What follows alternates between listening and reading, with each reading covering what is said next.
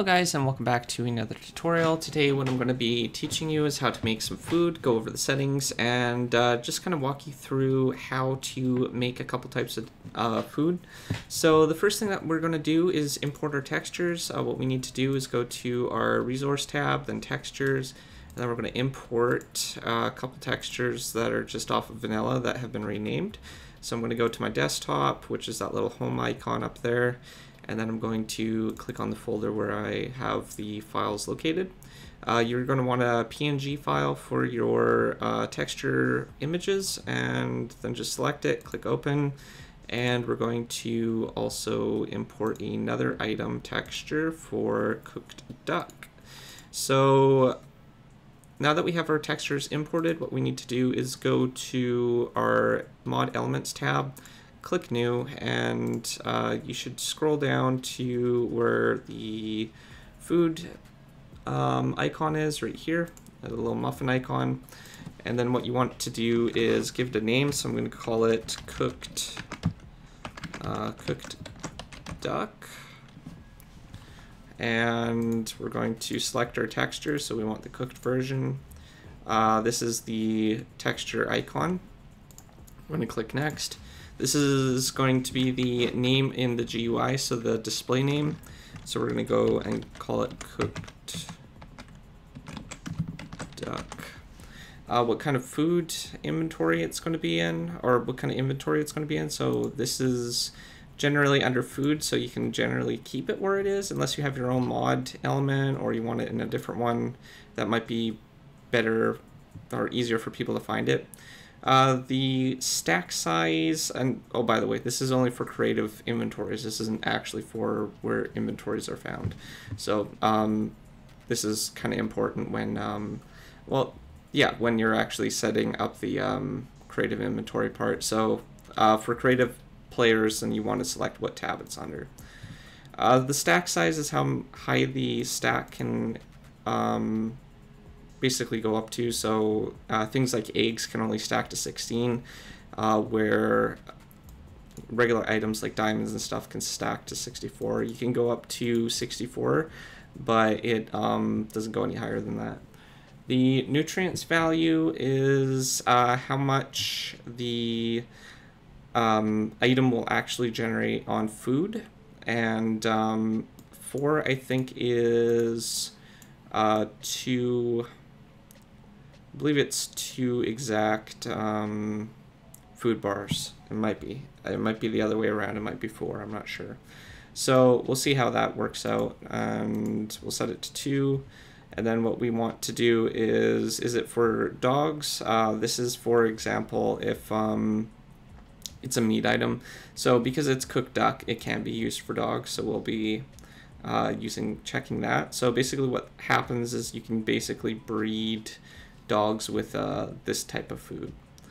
Um, is always edible. This is pretty much uh, as clear as possibly can be. Uh, you'll be able to always eat this item if um, this is checked. Uh, potion effect. So this is the status effects for um, certain items. Uh, for example, the uh, if it's the raw item, you might want to give poison. So if you wanted to, like this was uh, raw duck, then what you want to do is maybe give it poison, and if the player eats it or whatever, then it could poison them. Um, there, you could also do this same thing through um, the update ticks and stuff like that with a random possibility if you don't want it to always give the effect. Uh, we'll cover that in a little bit. So if you want to give a certain potion effect or something like that, then you or a status effect, then you can enable this and select what effect you want. Uh, the eating speed, this is um, how fast the item can be eaten. And the food animation, this is varies on if it's a, a drinking animation or an eating animation. This uh, does different particle effects and sounds. So uh, we're just going to leave it at these general settings. Now, if you want um, to add your custom, um, basically custom poisonous effects and stuff like that, when food eaten is the uh, one that you want to go on. You're just going to create a uh, procedure and then if you want to have it on a random decimal uh, for basically if it's a 50% chance of it giving them poison, what you want to do is um,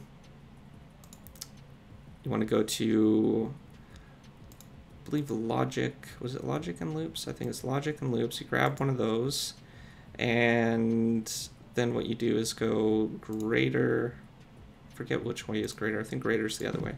So is greater than and then you want to select a number so 0 point say 5 would be 50 percent um, you want to do a number between 1 and 0 so uh, you can use point form. You can actually go as many digits as you want. So we could actually offset it by like 75 or 333 or something like that. I'm just going to use 5 for the example. And uh, we're going to need another math operator for a random event what this is going to do is it's going to basically ran, uh, generate a random number, and if the number is greater than 0.5 or 50%, it's going to do something. So because this is a cooked food item, uh, what I'm going to do is go to uh, Entity, scroll down to Effects, Add Potion, or you could do one with particles, uh, which you have a little more control over the particles. I'm going to enable that, and then I'm going to go over to where the uh, provided entity um, effect actually is. And I'm going to also um, add a little potion expect for, let's see here. We could do, um, well, that's a good question. Hmm. Uh, let's see. We could always do night vision. Night vision is pretty easy to see, so we'll do night vision for that and if the player basically eats it, uh, at 50% chance, it will give night vision for, I believe, 60 ticks or 60 seconds. I'm not sure. Um, I think 300 is uh, 5 seconds, so we'll set that to that. And then we'll um, click Add Procedure. That should be under When Food Eaten. We'll click Next, and then it will generate our procedure and our cooked duck. So there's also another thing that we can do, uh, just to example, uh, for a raw chicken, what we can do is just uh, duplicate this, and we'll call it raw duck. So raw duck will be our new food. We're going to select our new item. I'm going to click next. Uh, we're going to set potion effect instead this time and we're going to have it set to poison and we're going to disable the when food eaten and we're going to click save. So we can also duplicate as well if we want to. So now that we have food, uh, the actual food items made, what we need to do is set up some recipes. So generally, uh, if it's like a uh, item that is dropped by, say, a play or like an entity or something like that, you would say have it drop the raw duck or something like that, and then you would um, make a recipe for the, the cooked duck or something like that. Uh, since we don't have any way to obtain the duck, uh, the raw duck, that we would probably want to craft it somehow or have an entity drop it. Uh, for cooked duck, we can create a simple recipe though.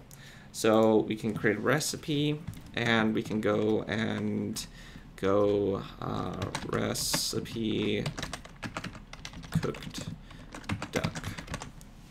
and then we're going to add a smelting recipe. Uh, we're going to have the item being smelted raw duck, and it's going to make cooked duck, and we want to set the XP amount, so you can set it from 1 to 0 or however how many values you want it. And click save and you already have a recipe set up. That's all you really need to do. We'll hop in game and I'll show you how it works Okay, so we're now in game. I'm going to go to the food tab. We're going to have our cooked and raw version. So we'll start with the raw version and then we'll eat the uh, cooked version. Uh, we actually need to damage ourselves a little bit, so we need to eat. Uh, what I'm going to do though is just speed that process up by um, setting myself on fire or something. So I'm going to need flint and steel and then uh, what we can do is uh, have some milk as well because we're going to need that for the poison. Probably grab two milk bu buckets. So I'm just going to uh, get my health or hunger down quite a bit. I'm going to set my game mode. I probably should set difficulty to peaceful just so I don't die during the night. So game mode zero and I'll get that all sorted out and then we can test how many health bars uh, or food bars we get from it. Okay. So I have my uh, health down to four uh, bars just in case. So the first thing we're going to do is we're going to eat the um, raw chicken just to see the poison effect. So it gives us two health bars. Our health is going down now because we have poison. Uh, wither effect will actually kill the player. So if you want to kill the player, uh, potentially, then what you want to do is have uh, the effect be wither. Uh, it's basically the same thing as poisoning, but uh, one is more deadly. Uh, now, we know that the nutrients value for setting it to four will do half a heart. So each will be half a heart each. So we got a total of four half hearts or half um, food values. So now we're going to test uh, the other other item, which is the food, which should give us night vision for uh, 30 seconds or 20 seconds or something. So you, you can see that it gives um, a random possibility as well. And uh, because we set it to 50%, it just happened to give us it right away. So I'm going to uh, start making more of these uh, workspaces like I've done in the past and uploading them to my MediaFire. Um, I figure that uh, it can actually help people a little bit more, you know, playing around with the settings and uh, seeing the example and having all the files and stuff at their fingertips and learn. Maybe some people are more um, hands-on learning and stuff like that, and uh, they don't want to worry about configuring it all themselves, and they can learn from an actual workspace rather than trying to figure it out in their own and worry about um, basically messing up all the progress in their mod. So I'm going to be uh, in the next couple while adding more workspaces that um, I do tutorials on and uploading it to my MediaFire and adding it to my website as well. Uh, so yeah, without that, uh, if you're new to my channel, don't forget to subscribe, comment down below, let me know what you liked about it, and uh, also rate the video, it does help, and I'll see you guys next time. Thanks for watching.